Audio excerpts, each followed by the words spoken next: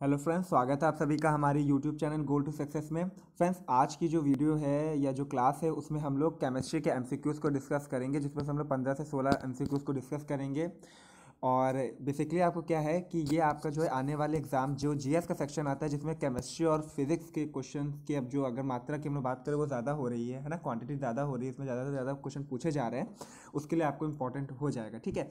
और आप, अगर जिन लोगों ने पढ़ा होगा केमिस्ट्री पढ़ी होगी तो उनके लिए एक मॉडल पेपर की तरह भी बिहेव करेगा। चलिए टाइम ना वेस्ट करते, चलिए स्टार्ट करते हैं। पहला हो गया पदार्थ के परमाणुवाद, यानी एटॉमिक थ्योरी की खोज किसने की थी एटॉमिक थ्योरी किसने दी थी?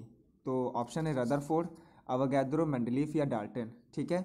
तो जो परमाणुवाद यानी एटॉमिक थ्योरी जो पे, पेश की थी पदार्थ की वो की थी आपके डाल्टन जी ने। किसने की थी? डाल्टन ने की थी ठीक है? और वहीं पे अगर बात करते एवोगैद्रो नंबर तो ये आप सभी को मालूम है और इसी वीडियो में नीचे भी आपको मालूम चल जाएगा मेंडलीफ आपका पीरियोडिक टेबल उन्होंने दी थी और रदरफोर्ड हैं तो रदरफोर्ड आप सभी को मालूम है उन्होंने प्रोटॉन की खोज की थी ठीक है?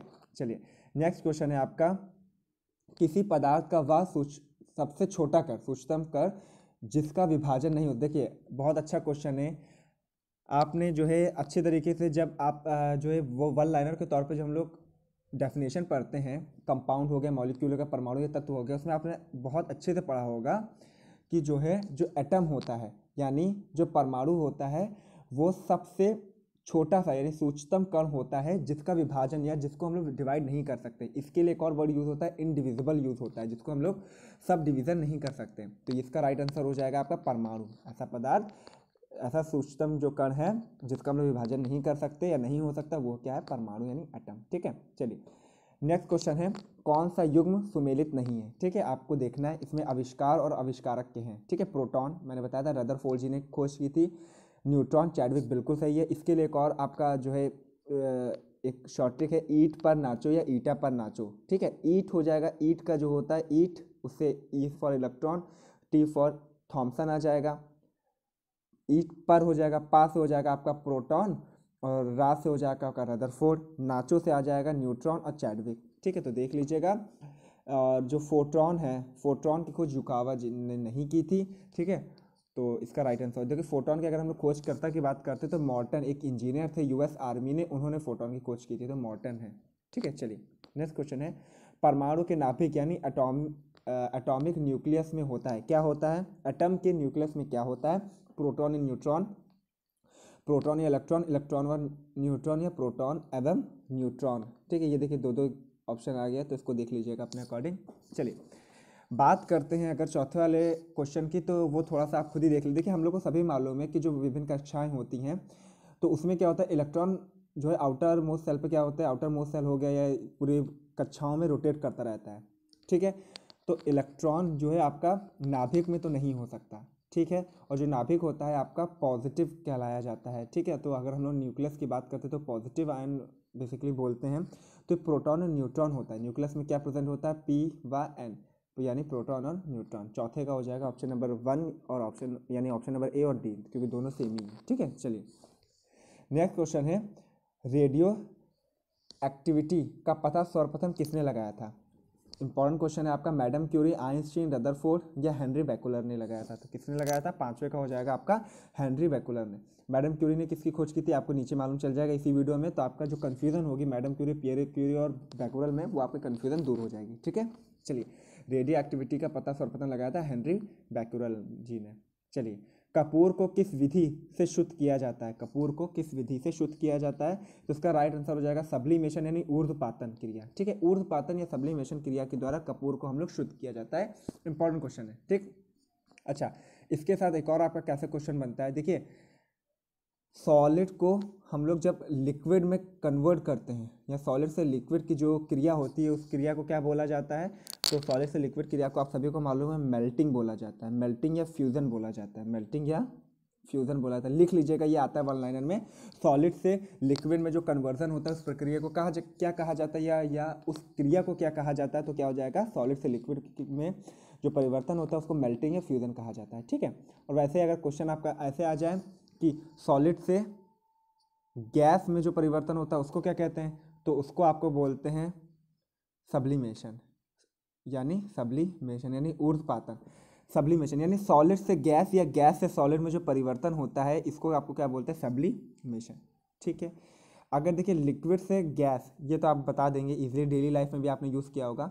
लिक्विड से जब गैस में परिवर्तन होता है तो वो उसका जो मेथड होता है, वो आपका होता है वेपोरेशन ठीक है? जैसे आपने क्या लग करा है? वेपोरेट जिसे बोलते हैं इवेपोरेट जो होता है। जैसे आपने पानी गर्म करते होंगे तो पानी जो है, पहले ज़्यादा होता है और ज़्यादा गर्माते रहेंगे, खोलता रहेगा खोलता रहेगा, अंत में कम होता जाता है तो वो जो है इवेपोरेट हो जाता है। ठीक है? चलिए नेक्स्ट क्वेश्चन है, परमाणु के नाभिक में उपस्थित प्रोटॉन की संख्या को क्या कहा जाता है? तो इंपॉर्टेंट क्वेश्चन है, ये आपने फॉर्मूला भी यूज़ किया होगा तो उसको एटॉमिक नंबर कहा जाता है, परमाणु क्रमांक। देखिए, परमाणु क्रमांक में हम लिखते हैं atomic number is equal to number of protons यानी जो एटॉमिक नंबर होता है, वो प्रोटॉनों की संख्या के बराबर होता है। ठीक? चलिए नेक्स्ट क्वेश्चन है सामान्य ताप व दाब पर विभिन्न गैसों के एक ग्राम अणु का आयतन कितना होता है? सामान्य ताप एवं दाब पर विभिन्न गैसों के एक ग्राम अणु का जो आयतन होता है, वो आपका होता है twenty two point four litre. क्या होता है? बाईस दशमलव चार यानी twenty two point four litre. Next question है, एक मोल में, जैसे मैंने अवगैद्रो नंबर बताया था ना, उसी के बारे में है, एक मोल में कुल परमाणुओं की कितनी संख्या होती है? तो ये आपका हो जाएगा six point zero two three ten to the power twenty three देख लीजिएगा ऑप्शन नंबर सी इसका राइट आंसर हो जाएगा। मतलब क्या? कि एक मोल में कुल परमाणुओं की संख्या कितनी होती है, जिसको हम लोग एवोगैद्रो नंबर बोलते हैं तो होता है six point zero two three into ten to the power twenty three next question है आपका रेडियम की खोज किसने की थी? मैंने बताया था रेडियम की खोज मैं आगे बता दूँगा आपको। आपका हो जाएगा रॉबर्ट पियरे और आपका क्या हो जाएगा मैडम क्यूरी। ने जो है किसकी खोज की थी? आपका रेडियम की खोज की थी।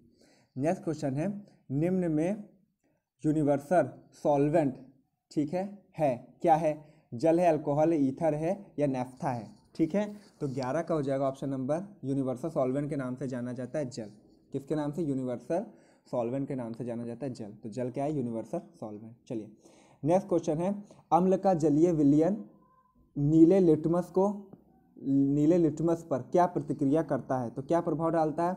तो देखिए, जो अम्ल का मैंने बताया था, अम्ल क्या करता है? ये नीले लिटमस, यानी ब्लू लिटमस पेपर को लाल लिटमस पेपर, यानी रेड लिटमस पेपर में बदल देता है, यानी ऑप्शन नंबर ए, यानी लाल कर देता है, सही हो जाएगा। यानी इस ऑप्शन को अगर हम लोग देखते हैं, इस क्वेश्चन को अम्ल का जलीय विलयन नीले लिटमस पेपर पर क्या प्रतिक्रिया करता है? तो ये लाल कर देता है। ठीक है, अम्ल बेस इन सब के बारे में मैंने वीडियो बना रखी है सेपरेट आप लोग देख, क्या करिएगा? चैनल की प्लेलिस्ट पे जाकर आप लोग देख सकते हैं। ठीक है?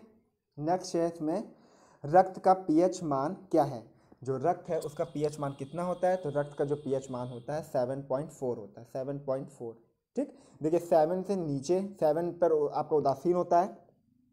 किसी भी चीज़ का अगर पीएच मान सेवन है तो वो उदासीन होगा। सेवन से कम पर वो अम्ल होता, अम्ल में परिवर्तित होता है, यानी अम्ल कहलाता है। और सेवन से जब ज़्यादा होता है पीएच मान, जैसे आठ, नौ, दस, ग्यारह ऐसे तो वो क्या होता है? वो बेस कहलाता है। ठीक है? चलिए नेक्स्ट है आपका। शुद्ध जल का पीएच मान कितना होता है? शुद्ध जल का पीएच मान आपका होता है सेवन, यानी सात। ठीक है? जो उदासीन इसीलिए कहलाता है जल। मैंने बताया था सात तो उदासीन होता है सात के जो अगर हम इस साइड जाते हैं, यानी बढ़ते क्रम में आठ, नौ तो इसमें ये क्षार कहलाता है और उससे कम पे अम्लिया एसिड कहलाता है। चलिए नेक्स्ट क्वेश्चन है ड्यूटेरियम में क्या होता है? देखिए ड्यूटेरियम आपका क्या एक आइसोटोप है, किसका? हाइड्रोजन का है, आप सभी को मालूम है, ठीक है? इसमें क्या होता है? ऑप्शन देख लीजिए, एक न्यूट्रॉन, एवं प्रोटॉन, दो न्यूट्रॉन, एवं एक प्रोटॉन, दो न्यूट्रॉन, एवं दो प्रोटॉन, एक न्यूट्रॉन, एवं दो प्रोटॉन, ठीक है? तो इसका राइट आंसर आपका हो जाएगा, एक न्यूट्रॉन व प्रोटॉन, ठीक है? यानी ऑप्शन नंबर ए इसका राइट आंसर हो जाएगा। चलिए, नेक्स्ट क्वेश्चन है, सबसे हल्का तत्व, लाइट एलिमेंट इसमें से कौन सा है? ये चार ऑप्शन है, उनमें से सबसे हल्का तत्व कौन सा है? हीलियम है, सोडियम है, हाइड्रोजन है पोटेशियम है, ठीक है? तो आप सभी को मालूम है कौन सा है सबसे हल्का तत्व? हाइड्रोजन, ठीक? तो सबसे हल्का तत्व क्या हो जाएगा? हाइड्रोजन लाइट एलिमेंट हाइड्रोजन चलिए। तो कहते आज की वीडियो में सिर्फ़ इतना ही। अगर वीडियो पसंद आई हो तो प्लीज़ हमारे चैनल गोल्ड सब्सक्राइब को सब्सक्राइब करें। अपने फ्रेंड सर्किल में वीडियो को शेयर ज़रूर करें और वीडियो को प्लीज़ लाइक ज़रूर कर दें। Thank you